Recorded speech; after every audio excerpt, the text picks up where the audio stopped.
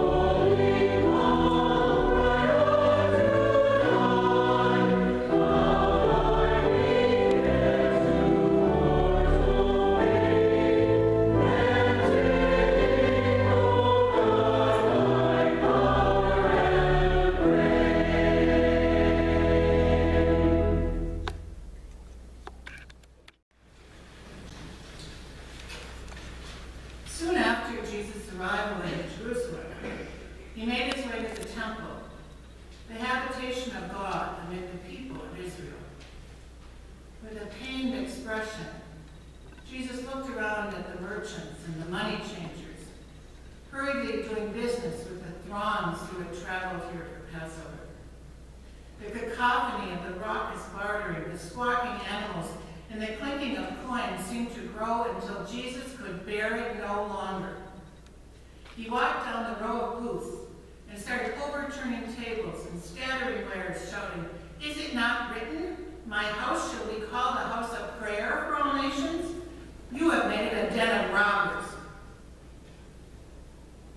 The chamber fell silent, save for the sound of rolling coins and the flapping wings of doves enjoying their newfound freedom. The multitudes stared in silence. The angry-faced priests stared with disdain at this arrogant intruder. Jesus turned to leave.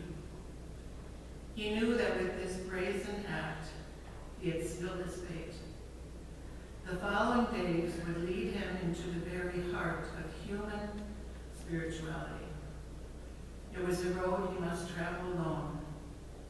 No one would walk with him, not his family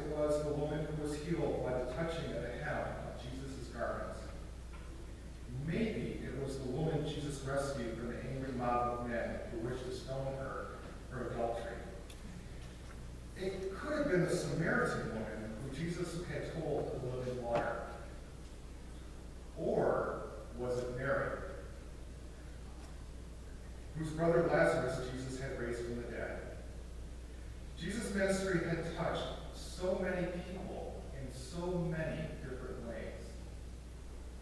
This nameless one was thanking him, adoring him for who he was and what he had done. She has performed a good service for me, Jesus said.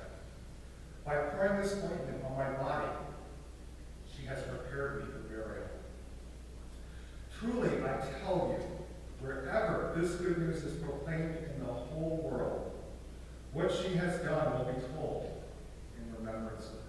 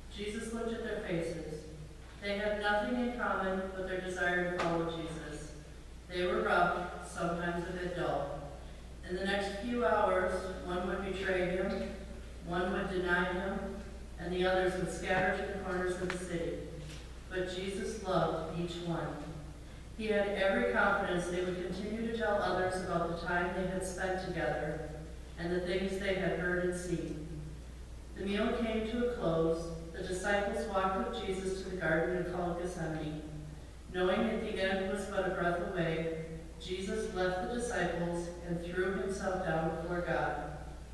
With a heavy heart, he cried out, My Father, if this cannot pass unless I drink it, your will be done. Betrayed by Ju- Judas, Jesus was delivered to a mob of people led by the chief priests and elders. He was taken to Caiaphas, the chief priest. The next day he was taken to Pilate, the Roman governor. Although somewhat hesitant, Pilate acquiesced to the will of the crowd. He was he sentenced Jesus to death by crucifixion.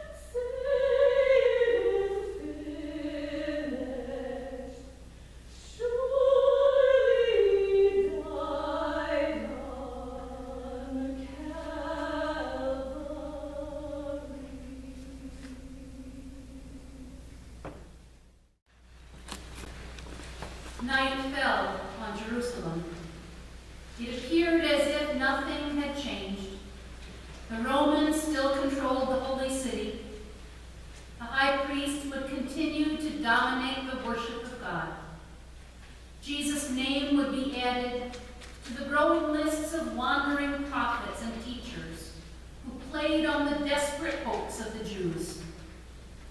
Oh, how cruel was the God of Israel.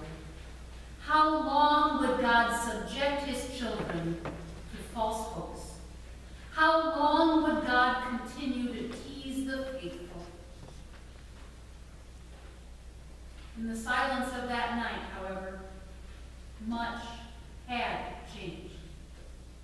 Hope had not been destroyed, it had been born. Jesus' death was not the end of his teachings, it was, in fact, the fulfillment of them. The crucifixion was the commencement of the kingdom of God, a kingdom based not on politics, not on power, but on love, a powerful love, which would remove the boundaries between Romans and Jews, between poor and rich, between clean and unclean, between spirit and flesh. A love so magnificent, so wondrous, it would even dare challenge the boundary between humanity and God. Let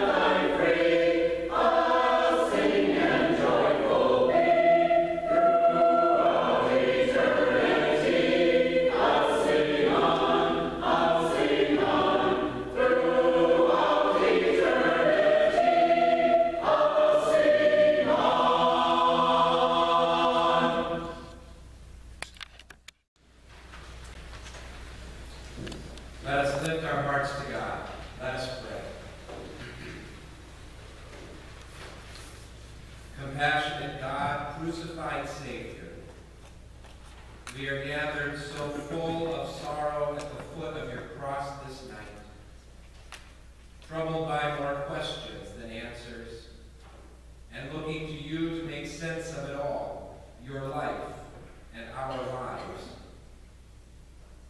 Things don't always go the way we planned. Our lives unfold in ways that don't always match the hopes and dreams we have for ourselves.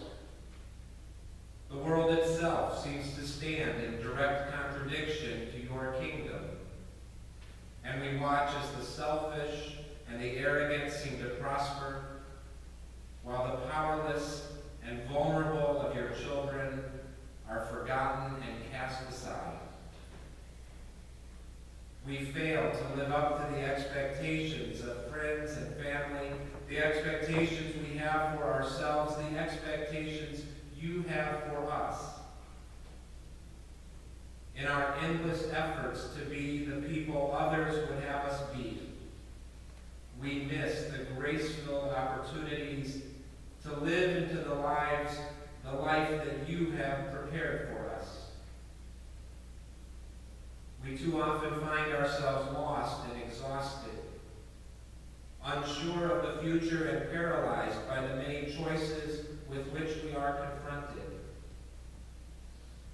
On this night of all nights, we look into your face and are met by the truth that a life of honesty and integrity and obedience are not the easy way.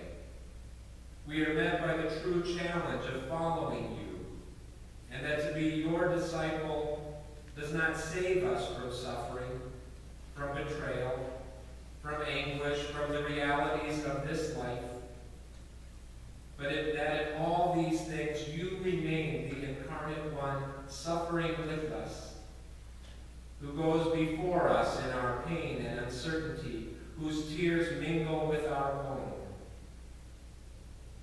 We so want you to come down from the cross and make everything right, to heal the life which cries out for your divine touch.